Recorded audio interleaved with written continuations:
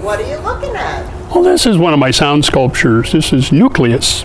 I've always loved sound. I love the big bells, you know, like the big church bells and what have you. That's what really what got me into making sound sculptures to begin with. The arches are all made out of uh, eighth inch plate steel, you know, fabricated. So, you know, the front and the back, the sides, everything cut and then welded together and then pierced one another. You know, make slits in it to put it all together, top and the bottom. And I just love the technical challenge. That was a lot of fun. This is my biggest bell, I think.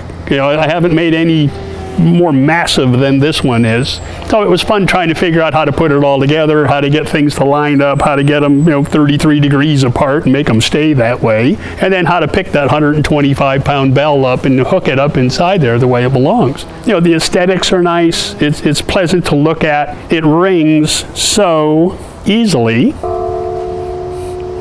You know, two, three mile an hour wind is about all we need. The way it comes around the house on this side or comes through the backyard. And it's just got that gentle little tone. You know, it sounds like a church over there someplace. You know, it's not so loud that you're sitting here with your fingers in your ears going, God, I need to shut that thing up. So that's Nucleus. You know, just a nice big bell. You know, it has a presence in the backyard. One of my favorites. I'm going to go ahead and get back to work. You guys are going to reach down and hit that subscribe button for me, and I'll see you next time.